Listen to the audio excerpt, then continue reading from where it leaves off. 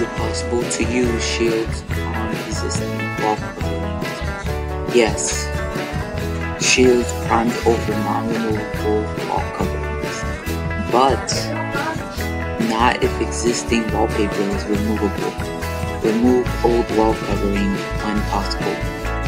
Good luck.